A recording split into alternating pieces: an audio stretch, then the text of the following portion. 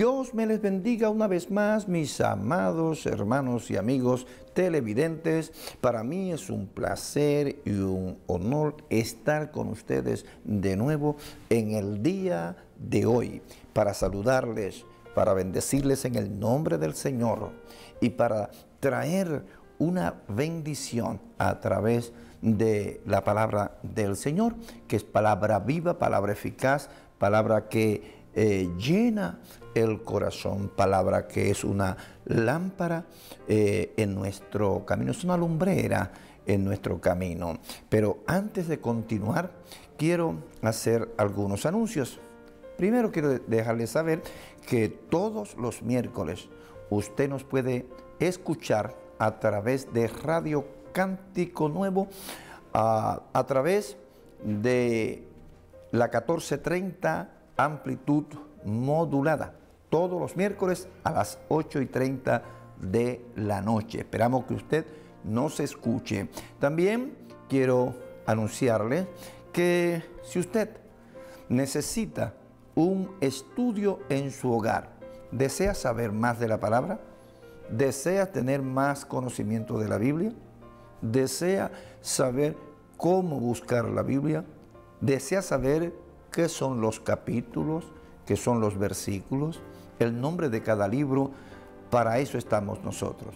Tenemos, eh, tenemos maestros capacitados, maestros que han estudiado en institutos bíblicos y se han graduado de instituto y tienen la capacidad para poder enseñarles. Una llamadita lo arregla todo, nos puede llamar. Así que en el día de hoy también quiero enviar un saludo a, los que están en una institución en Rahway que siempre ven nuestros programas.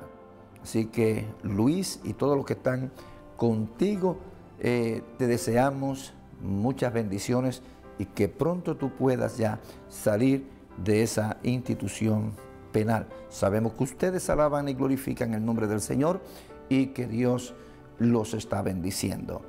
Ah, también quiero eh, felicitar de todo corazón a todos aquellos que cumplen año en el día de hoy y aquellos que están de aniversario de bodas y que pueden decir que están en victoria en su matrimonio. En el día de hoy vamos a hablar a un, un tema que lo considero muy importante. Este tema tiene que ver con la instrucción.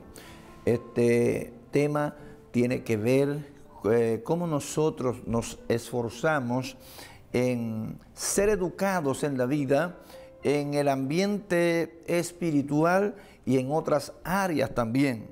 Pero lo más que me interesa hoy es eh, el aspecto espiritual de tu vida. Sabemos que todos nosotros tenemos tantos compromisos en la vida y casi nunca eh, tenemos tiempo para ir a un templo a escuchar palabra de Dios y por eso nosotros nos esforzamos, este servidor, nuestra iglesia pentecostal El Paraíso, que radica en el 63 de la avenida Mount. Nos esforzamos y pagamos este programa para que usted sea bendecido en una o bendecida en una manera especial. Así que sin más ah, anuncios que dar, vamos a entrar en la lectura de la palabra del Señor.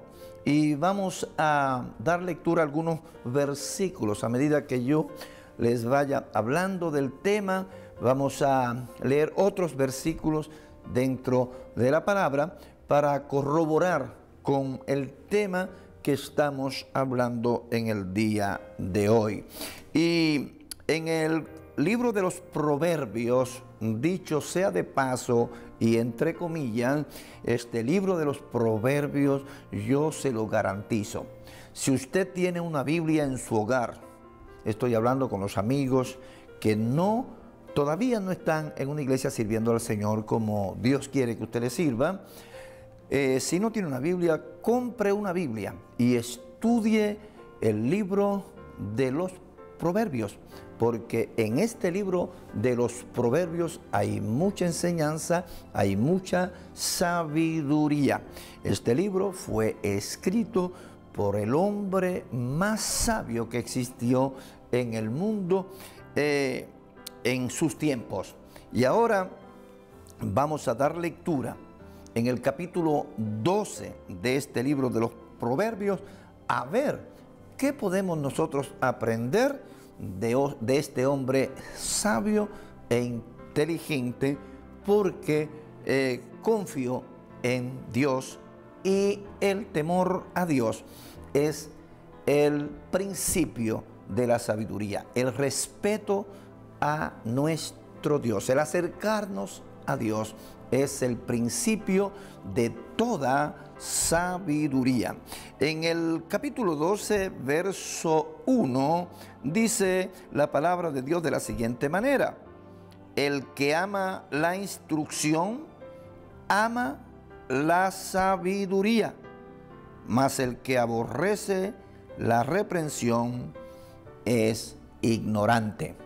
Bien, vamos a dar gracias a Dios por esta palabra y luego continuamos. Padre Santo y Padre Bueno, Dios eterno, Dios de Abraham, Dios de Isaac, de Jacob, Dios nuestro, Dios de toda la humanidad. En este momento, Señor, te pido la sabiduría, la gracia, la guianza de tu Espíritu para yo poder hablar al amado eh, al amado televidente que en estos momentos está ahí en casita, eh, viéndonos y escuchando esta tu palabra en cualquier lugar donde nos estén viendo, Padre, que tú les bendiga, les ayude a cada uno de ellos, a cada una de su familia, si están pasando por crisis, por problemas, por dificultades, que la gracia tuya, Dios mío, les visite, que tu mano extendida sobre ellos sea de bendición. Y si algunos están enfermos, Padre, que tú los sane para la gloria de tu nombre y en el nombre de Jesús. Amén. Estamos hablando en estos momentos acerca de la instrucción y sabemos que en esta vida hay muchas personas que se encargan o trabajan instruyendo a los demás en diferentes áreas de la vida. O sea, hay un complemento de instrucción, de enseñanza que hacen falta en el mundo. Y dentro de eh, estas enseñanzas que hay en el mundo sobre diferentes cosas, diferentes tópicos, pudiéramos hablar concerniente a, la ciencia, a la tecnología, a, bueno, diferentes proyectos que los hombres eh, se han trazado y hay una variedad de, maestros, como le dije, de diferentes eh, formas, pero en el día de hoy yo quiero hablar de la enseñanza acerca del Creador, de las enseñanzas que nosotros hemos recibido de parte de Dios y que Dios ha usado diferentes instrumentos, eh, diferentes canales para que en el día de hoy nosotros podamos estar aquí frente a ti para llevarte esta palabra. Dice que el que ama la instrucción, ama la sabiduría. Hay personas que no se dejan instruir. Hay personas que inclusive a corta edad ya dejan de ir a la escuela. Hay eh, muchachos, muchachas, jóvenes, jovencitas, que ya cuando han llegado al noveno grado, al octavo grado, ya no quieren seguir estudiando, ya no quieren seguir preparándose. Y entonces, eh, a través del tiempo, ellos van creciendo, van madurando, pero entonces se le hace difícil conseguir un buen trabajo, eh, se le hace difícil prosperar económicamente porque nunca ellos se prepararon para tener un buen empleo y para poder sobrevivir. Y eh, qué bueno cuando especialmente la juventud eh, escucha la instrucción. Eso no quiere decir que también los adultos no necesiten instrucción en muchas áreas. Pero como le dije, en el día de hoy vamos a hablar en cuanto al temor a Dios, el respeto a Dios. El, verso 2 de este capítulo 12 dice, el bueno alcanzará, alcanzará el favor de Jehová. Yo no sé eh, qué nombre usted le tiene a Dios, pero para nosotros en español Dios se llama Jehová. Y cuando en cualquier lugar usted oye mencionar a Jehová, se está refiriendo al Dios creador de todo lo que existe. Cuando dice aquí que el bueno alcanzará favor de Jehová, no está queriendo decir que los seres humanos somos buenos, porque el mismo Jesús, cuando alguien le dijo, maestro bueno, eh, él le dijo, ¿por qué tú me llamas bueno? Si solo bueno hay uno y ese es Jehová Dios. La Biblia señala en otros versículos diciendo, por cuanto todos pecaron, todos están destituidos de la gloria de Dios. Dice, no hay justo ni aun uno, no hay quien haga lo bueno. Todos se desviaron, cada cual se apartó por su camino, mas Jehová cargó en Jesús, su Hijo, el pecado de cada uno de nosotros. Entonces, cuando habla del bueno, está hablando de aquellas personas que realmente saben que hay un Dios creador de todo lo que existe y que es un Dios bueno, generoso, un Dios de misericordia, un Dios de amor, un Dios de perdón, un Dios que levanta al caído, un Dios que si usted se refugia en Él, puede sacarlo de la peor crisis por la cual usted pueda estar pasando. Dice aquí, mas Él condenará al hombre de malos pensamientos. O sea, tenemos que estar seguros cuáles son los pensamientos que aterrizan en nuestra mente. ¿Por qué? Porque hay pensamientos buenos, pero también hay pensamientos malos. Y por eso es que la humanidad vive en la condición en que en estos días presentes estamos viviendo.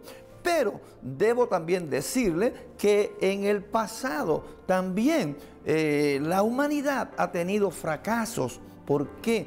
Porque no han dejado que Dios dirija y guíe sus vidas a través de su Santo Espíritu. Cuando la Biblia nos dice que Dios castigará al hombre de malos pensamientos, como le dije anterior, es que nosotros tenemos que estar seguros cuáles son los pensamientos que llegan a nuestra, a nuestra mente y cómo nosotros los ejercitamos o los ponemos en obra.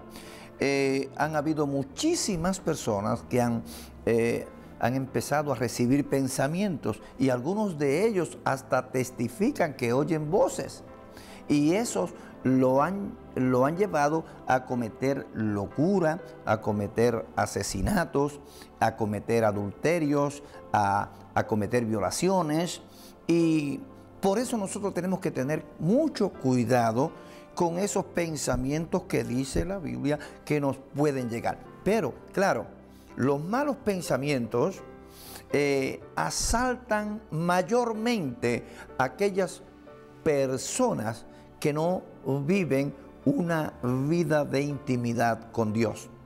¿Por qué? Porque cuando usted vive una vida de intimidad con Dios, eh, los pensamientos que fluyen en usted son los pensamientos de Dios, son los pensamientos buenos.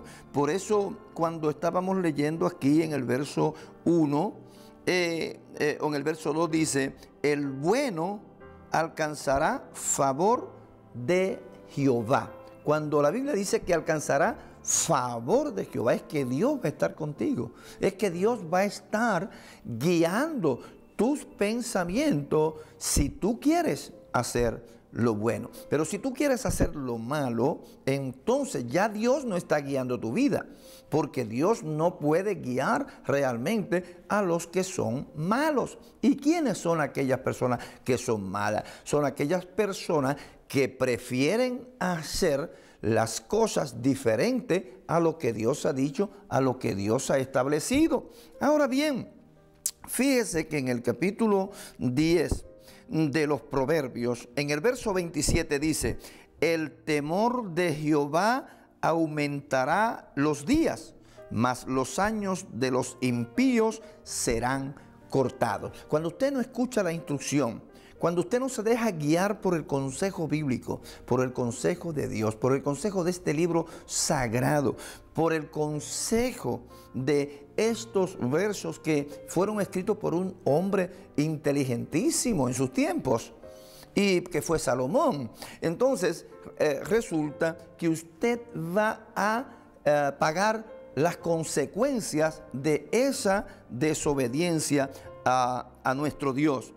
Y eh, vale la pena uno dejarse guiar por el Dios del cielo, dejarse guiar por la palabra de Dios. Vale la pena poner nuestra confianza en nuestro Dios y vivir para Él y deleitarnos en Él, porque Dios siempre quiere lo mejor para sus hijos.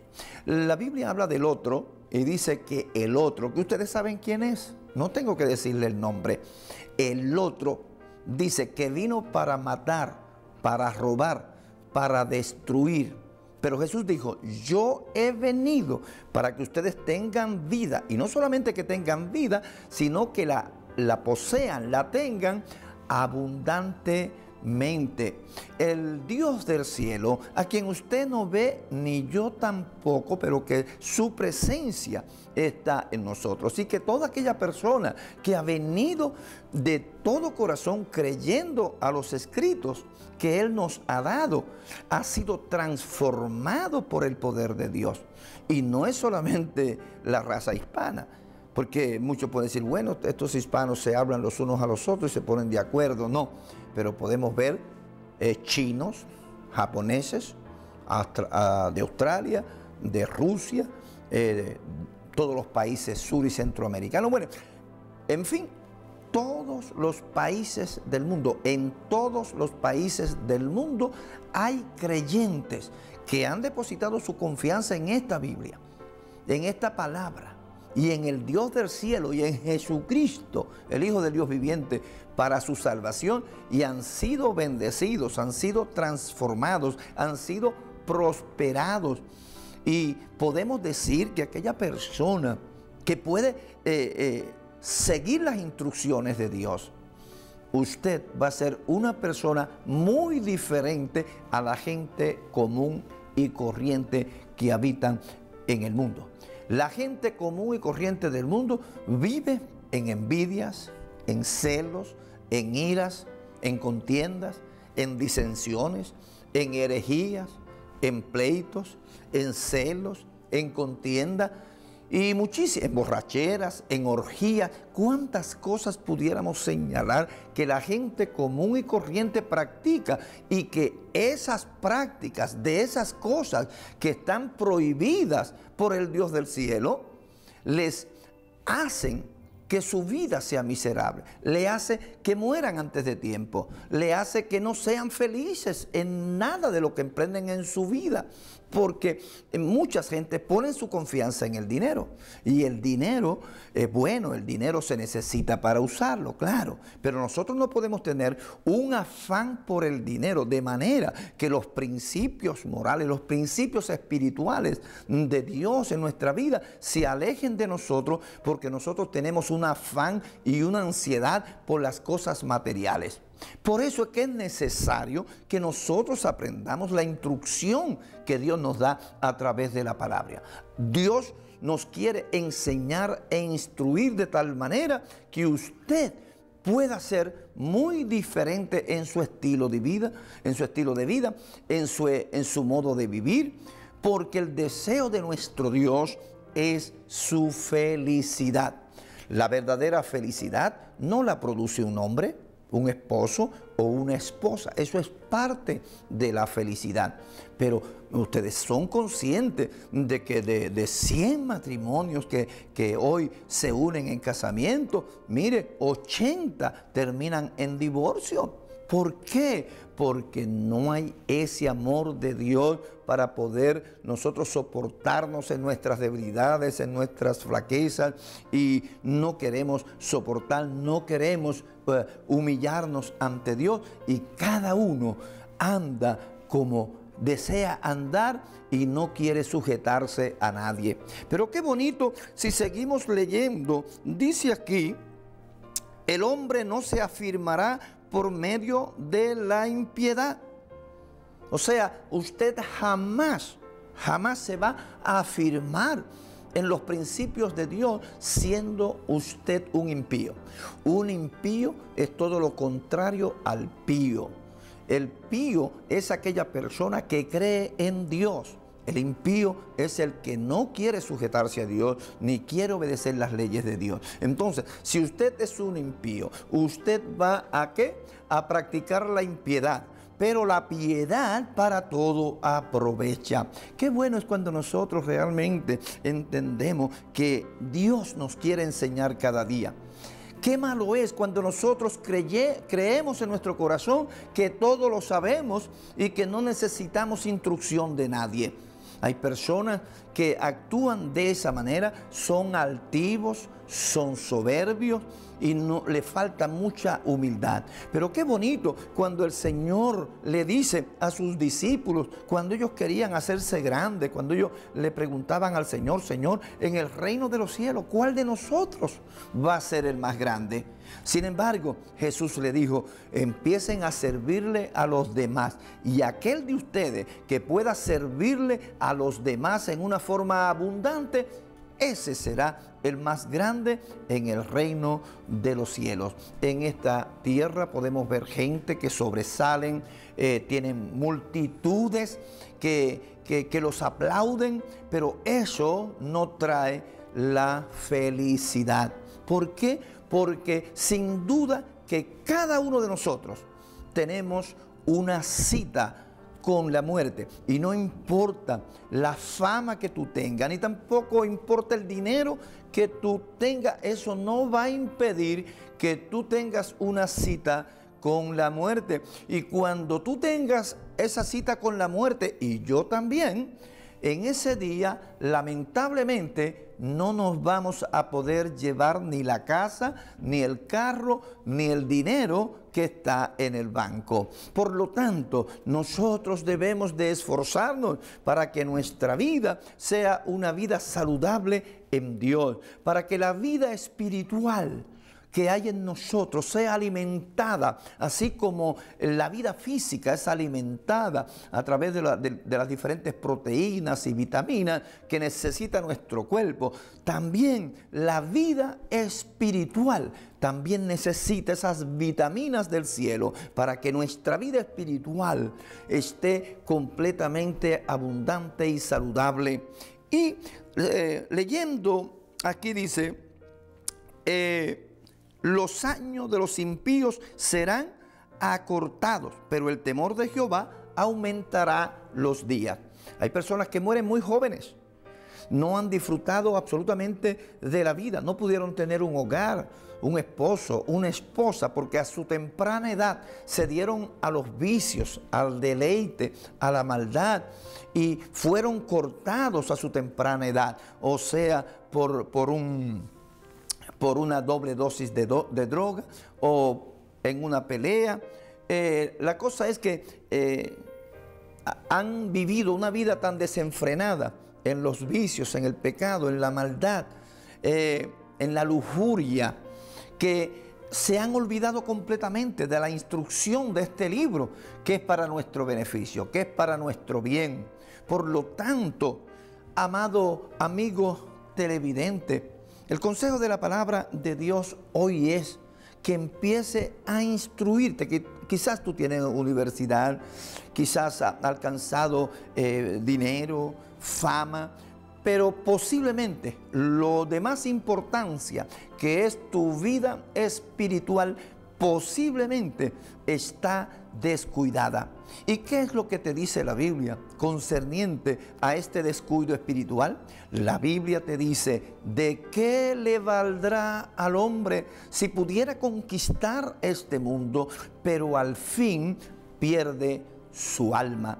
Tu alma tiene un valor grande ante la presencia de Dios. Tiene un valor tan grande que Cristo descendió del cielo y murió por ti y por mí en la cruz del Calvario para restaurar aquella vida perdida que nosotros perdimos a través de la desobediencia de nuestros primeros padres. Pero si tú te dejas instruir, si tú te dejas ayudar, si tú recibes esta palabra en el día de hoy, yo como ministro del Señor, como pastor de una iglesia y viendo yo los grandes cambios que Dios ha hecho en muchísimas personas que han venido destruidos a, la iglesia, pero que han venido en una manera tal que, que, han llorado ante la presencia de Dios, que han querido ser rescatados del del pecado, de la maldad. Y se ha cumplido en ellos lo que dice la Biblia, que ha sacado a estas personas del pozo de la desesperación, del lago cenagoso, y han sido puestos sobre esa peña que es Jesucristo, el Hijo del Dios viviente. Por lo tanto, en, en el día de hoy, reflexiona sobre tus caminos. ¿Cuántas personas te habrán aconsejado, te han aconsejado de que tú vengas a los caminos del Señor? Sin embargo, te muestras indiferente. ¿Cuántas veces Dios en su amor ha permitido que tú recibas un, papelito donde ese papelito te habla acerca de Dios? ¿Cuántas veces el Señor ha permitido que tú pases por la calle y alguien está hablando acerca del reino de Dios y su justicia. Sin embargo, has hecho caso omiso a esa instrucción, a esas enseñanzas que te llevan a la misma presencia de nuestro Dios. Amado amigo, hermano, televidente, yo quiero decirte ya en estas últimas palabras, porque el tiempo se me acaba, busca una Biblia, empieza a darle lectura, visita un templo y empieza a recibir instrucción de la palabra de Dios para que en el área espiritual tú sobresalgas y tengas una victoria segura. Te deseo lo mejor del mundo. Te deseo que Dios trabaje contigo y que el reino de Dios resplandezca no solamente en ti, sino en toda tu familia será hasta la próxima semana, cuando volveremos con otra plática más acerca de la palabra del Señor, para que Dios te bendiga, para que Dios te ayude y para que Dios te guarde. El Señor haga resplandecer su rostro sobre ti y ponga en ti mucha paz. Aleluya.